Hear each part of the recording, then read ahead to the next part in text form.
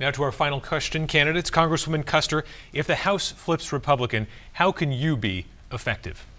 By working across the aisle, and that's what I've been doing. When I went to Congress, I promised a new approach, and that's exactly what I've done, is bring people together to get the job done.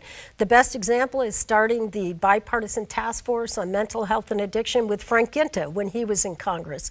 I also have a bipartisan task force to end sexual violence that I work on with uh, Representative Fitzpatrick from Pennsylvania, and we even have a bipartisan ski and snowboard Caucus with John Curtis from Utah, and we work on immigration and climate.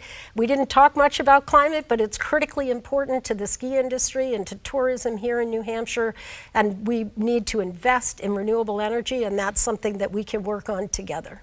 Mr. Burns, how would you be prepared to deal with a divided House and Senate? Well, I'm a really nice guy, and people find me amusing. Um, but uh, there are issues that I'd like to work on with Democrats. I think I'm the only Republican right now running, and quite frankly, the only person up on this stage that believes in uh, Medicare for all.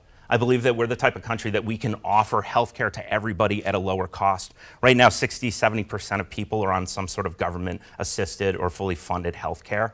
It's, it's the people in the middle class who are paying for everybody else and then wondering why they, they don't have health care. We should have health care for all. No child should be without health care. I do believe in working towards a single payer system, but with caveats.